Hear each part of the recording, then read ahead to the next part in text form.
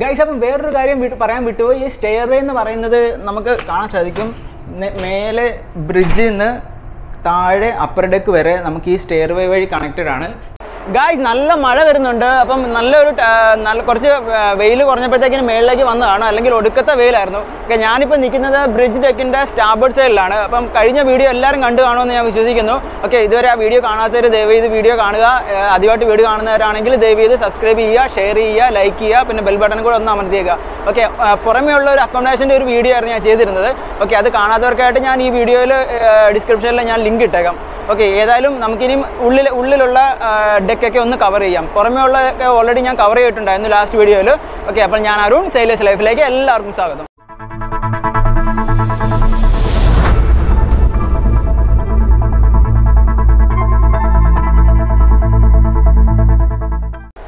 Guys അപ്പം നമ്മൾ starboard side bridge ഡെക്കിന്റെ ബ്രിഡ്ജ് ബ്രിഡ്ജ് ഡെക്കിലാണ് ഇപ്പോൾ നിൽക്കുന്നത്. നമുക്ക് അവിടുന്ന് നേരെ ബ്രിഡ്ജിൽ കൂടെ കയറി അതായത് ഷിപ്പിന്റെ മെയിനായിട്ട് നാവിഗേഷൻ നടക്കുന്ന സ്ഥലമാണ് ബ്രിഡ്ജ്. അതിൽ കൂടെ അവിടെ കൂടെ കയറി നമുക്ക് പോർട്ട് സൈഡിലേക്ക് പോവാം.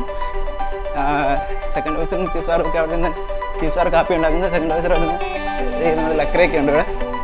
ഓക്കെ ഏതായാലും പോർട്ട് സൈഡിൽ എത്തിയിട്ടുണ്ട്.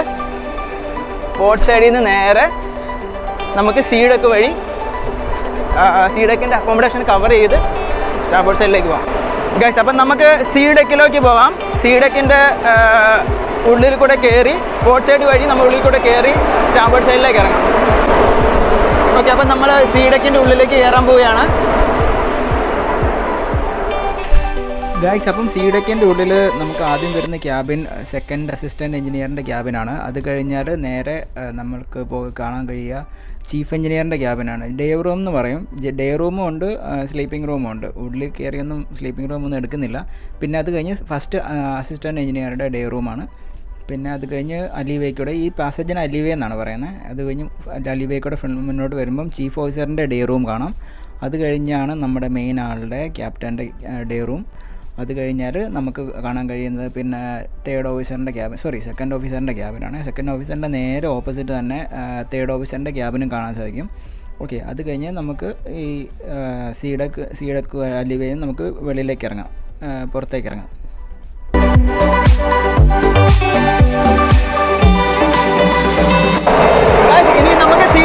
നേരെ ബീഡക്കിലേക്ക് പോവാം. ബീഡക്ക് വഴി ബീഡക്കിന്റെ ഉള്ളിൽ കൂടെ കയറി നമുക്ക് ബീഡക്കിന്റെ പോർട്ട് സൈഡിലേക്ക് പോവാം. ഓക്കെ നമ്മൾ ബീഡക്കിന്റെ ഉള്ളിലേക്ക് കയറാൻ പോവുകയാണ്.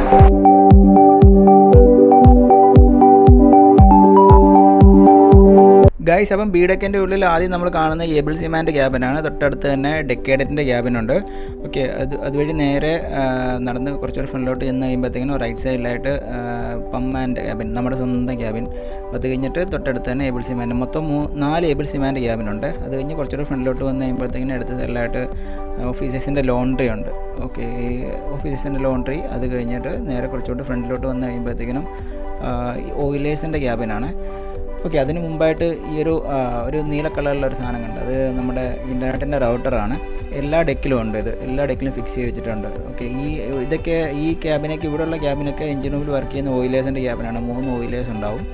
അവരുടെയൊക്കെ ക്യാബിനാണിത് ഓയിലർ വൺ ഓയിലർ ടു അങ്ങനെയൊക്കെ പറഞ്ഞ് കൊടുത്തിട്ടുണ്ട് അവിടെ. പിന്നെ അത് കഴിഞ്ഞൊരു എക്സ്റ്റിങ്വിഷർ എല്ലാ അടിവേലും എക്സ്റ്റിങ്വിഷർ വെച്ചിട്ടുണ്ട്. തീ പിടുത്തമൊക്കെ ഉണ്ടാക്കി ചെറിയ തീയൊക്കെ ആണെങ്കിൽ നമുക്ക് അണയ്ക്കാൻ പറ്റും. തീ പിടുത്തമൊക്കെ ഉണ്ടായി കഴിഞ്ഞാൽ ഇവിടുന്ന് അത് കഴിഞ്ഞ് നമുക്ക് വെള്ളം ഇറങ്ങാം പുറത്തിറങ്ങുകയാണ്. വീട് റോഡ് സൈഡിലേക്ക് നമ്മൾ എത്തിയിട്ടുണ്ട്. ഇനി ഇവിടുന്ന് നേരെ നമ്മൾ ഇതൊക്കെ കഴിഞ്ഞ വീഡിയോയിൽ ഈ ഭാഗമൊക്കെ ഞാൻ കാണിച്ചതാണ്. ലൈവ് ബോട്ടൊക്കെ ലൈവ് ബോട്ടൊക്കെ ഞാൻ കാണിച്ച കാണിച്ചതാണ് കഴിഞ്ഞ വീഡിയോയിൽ നമ്മൾ ഇവിടുന്ന് നേരെ ബീഡക്കിൽ സോറി ഏടക്കിൽ ബീഡക്കാണ് ഇപ്പം കവർ ചെയ്തത്. ഏടക്കിന്റെ ഉള്ളിലോട്ട് കയറാൻ പോവുകയാണ്.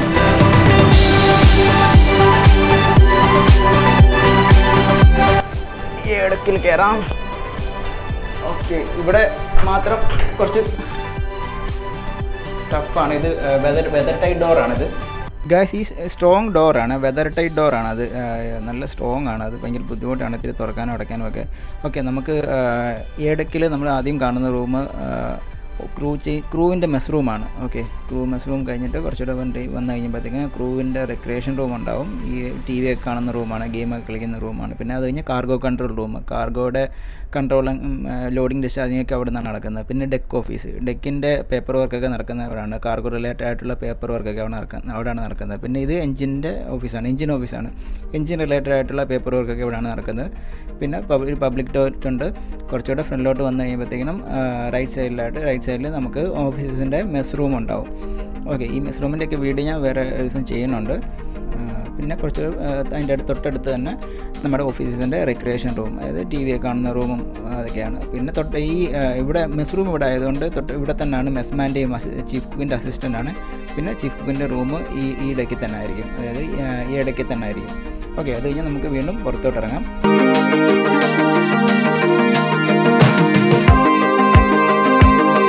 സ്റ്റാർബോർഡ് സൈഡിൽ നമ്മൾ എത്തിയിരിക്കുകയാണ്. ഇനി ഇവിടുന്ന് നേരെ നമ്മൾ താഴോട്ട് ഇറങ്ങിക്കഴിഞ്ഞാൽ അപ്പർ ഡെക്ക് സ്റ്റാർബോർഡ് സൈഡിലെത്തും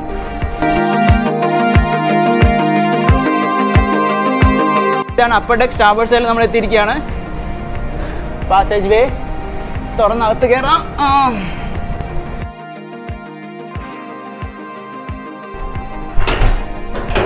ഓക്കെ അപ്പം അടച്ചു.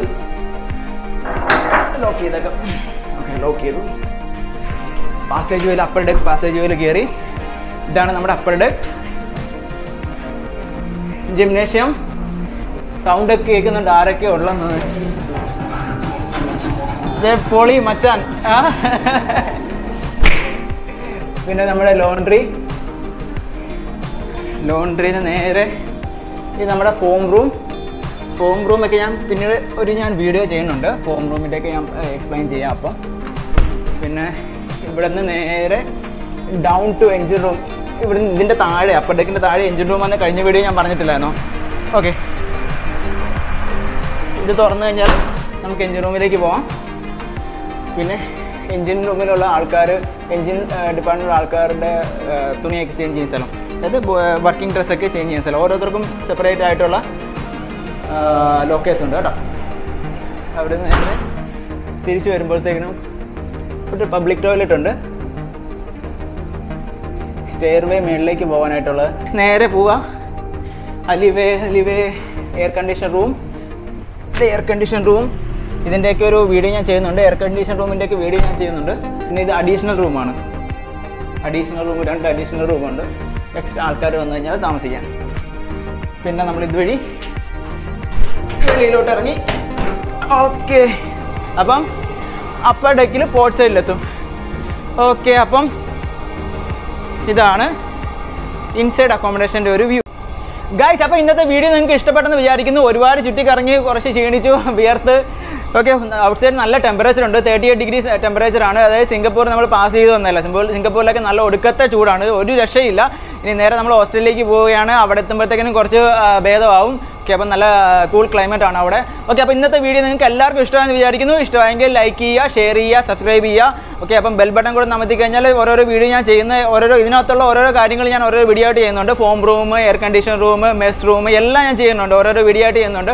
ഓക്കെ അപ്പോൾ അടുത്ത നല്ലൊരു വീഡിയോ കൊണ്ട് വരുന്നവരേക്ക് എല്ലാവർക്കും എന്റെ bye bye take care God bless you